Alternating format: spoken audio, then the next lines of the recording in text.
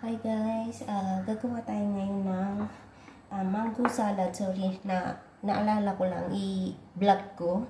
So ito guys, may iwan na tayong kamatis. Ayan, ganito lang siya kalalapat. Ito. Hindi siya manipis na manipis. So nahiwa na natin yung kamatis. And then naman is luya.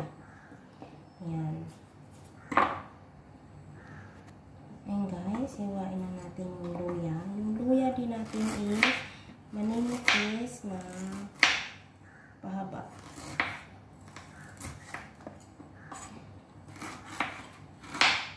Ay. Kailangan manipis. Maingay ba yung hiwa ko, guys?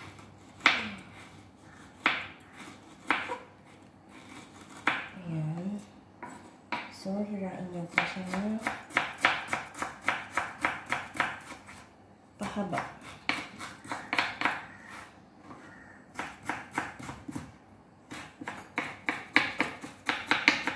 Hmm. So, ayan.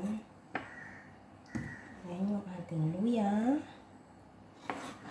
Hmm. So, hiwa naman tayo ng sibuyas, guys. Manipis lang din.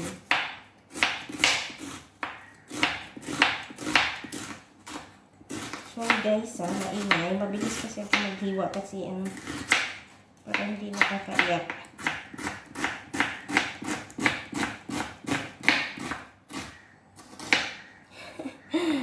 Mabilis tayo maghiwa, guys. So, ito yung ating sibuyas. Yan, ating sibuyas. Then, hiwain na natin yung mangga. Matakbo ka. So, manipis lang din siya, guys. Ayan, ganyan lang kanipis.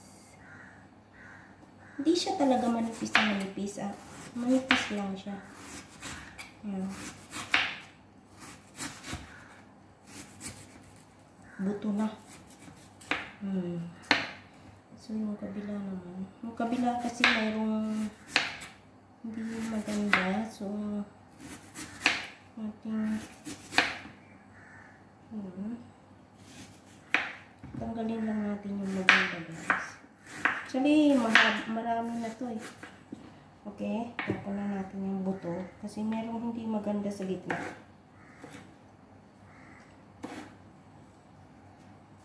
Hmm. Sa gitna. Ang ganda-ganda sa labas, pagdating sa gitna, hindi maganda. Ay, buhay nga naman. Kala mo napakaganda, pero ang panloob pala'y bulok. Hugot pa more. Okay, so hiwain natin siya ng manipis.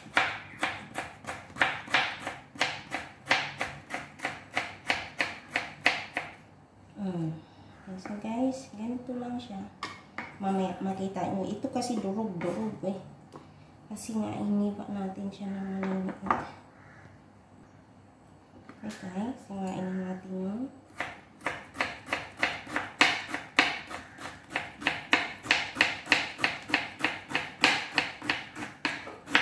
Ini guys, maingay ah. Mm. So, ganito lang siya guys. Ganito lang siya kahaba. Yan. Ang cute. Ang ganda nga ng pagkahiwa ko. Okay. So, ang dami niya na. Ang dami niya. Si isang laki. Isang malaki. Okay.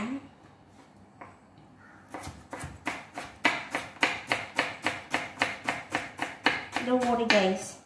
Tansado natin yan. Sanay tayong maghiwa ng mabilis. Yan. Pwedeng pang restaurant. Mabilisan. Mabilisang hiwa. Okay. So, ayan. Nahiwa na natin yung mangga, luya, uh, kamatis, at saka sibuyas. Okay guys. Ito ngayon ang masarap. Hindi ko alam kung ilang peraso to. 2, 4, 6, 8, 10, 12, 14. 14 na sili guys. Ang lalaki oh. Ang lalaki. Kita nyo ba? Eh, vlogger na. Okay. So, hiwain na natin siya, guys. Ah, ano pala, gagamitan ko siya ng scissor. Para ano. So, isama ko na siya dito sa mangga. So, hiwain na natin. Yan. Ako. Maamoy sili na. Yan. Ayan natin. Ang guys. Lalaki na sili natin. Tapos mayroon ako dito. Mamaya. Kasi kaya gawa ako ng ano. Gagawa ako ng mukbang ngayon. Mamaya makikita nyo. Pero bukas ko na i-upload yung aking mukbang. So, ito nga, upload ko ngayon to. How to make my mango salad. So, pang sampo to guys. Pang sampo kasi apat-apat yung hiwa ko kanina. Ito dalawa. Hmm, tapos ito, apat ulit. 14 yung sili ko guys.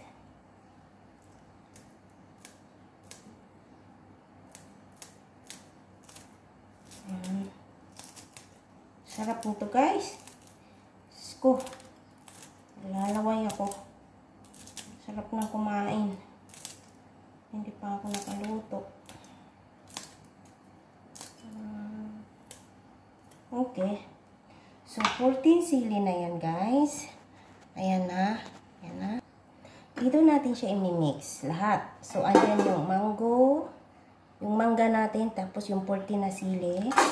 Pagsama-samahin natin yan, guys. Then, kamatis. Then, ang luya. Parang ang kunti ng luya ko. Then, ang ating sibuyas. Ang dami, guys. Guys, nakalimutan ko. Ang aking pinakasikritong pagkain bukod sa sili ay tanglad. Yes guys, ang sarap nito. Um, so, tatanggalin lang natin yan. Guys, tanglad ang pang the best na lasa. So, hiwain natin siya ulit ng manipis. So, ganito siya ka guys kanipis. Ayan, kanyang kanipis. Ayan. So, tanglad guys. Ang sarap. Yan ang sekreto ko. Dito ko natutunan Sorry guys ha, maingay.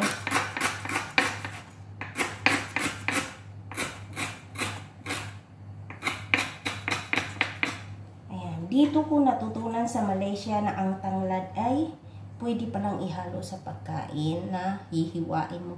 Tapos makasama mo na siyang kainin. Sarap guys. So, yan. Okay. Lagay natin. Kung meron pa akong maraming tanglad guys, uh, nagdagan ko pa sana kaso tuyot na eh okay so may nakuha pa tayo isa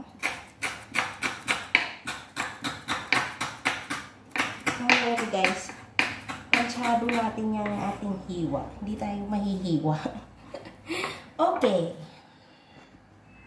Okay guys, so lalagyan natin siya ngayon ng ayu, uh, Himalayan salt. So, hindi tayo gagamit ng patis, guys. So, ayan, salt. Salt lang. And, hindi tayo gagamit ng patis, guys. Kasi ang patis is, alam na natin yun.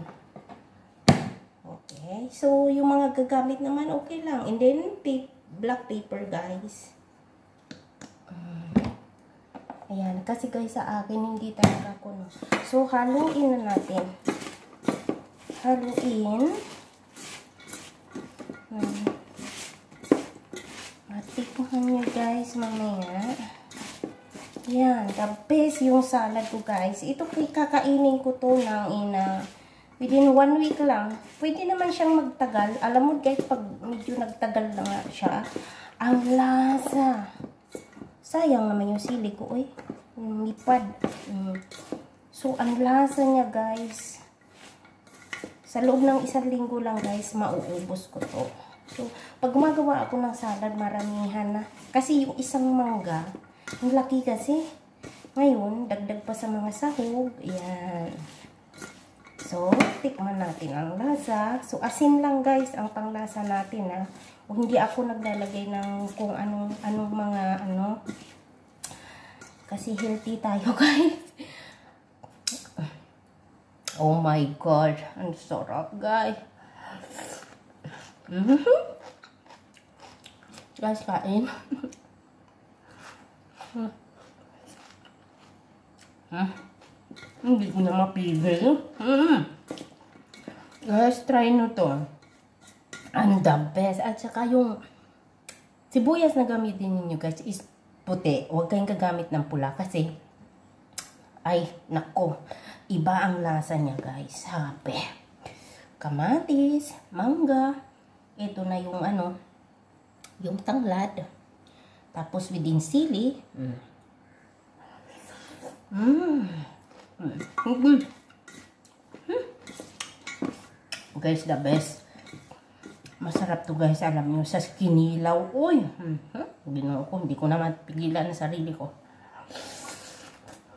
Mm -hmm. Mm. Mm. Mm. Wala na. Ubus na. ang tanglad guys, and the best. Ayan ang tanglad oh. Mm. Mm. Mm. My God. Mm. Asin lang guys ang palasa. The best na ang lasa. Grabe. Sobrang sarap. Okay guys. So yan po ang aking mango salad ang sili guys, umaaling, umaaling, umaalingaw-ngaw sa anghang. Bye guys. Ay, sarap mango salad. Sarap to sa inihaw guys. Inihaw na baboy, inihaw na isda. The best. Grabe. Ay, pag uwi ko na Pilipinas, talagang the best gagawin ko to. Bye guys. Thank you. Thank you for watching. Please like and subscribe. Eileen Vlogs. Bye guys.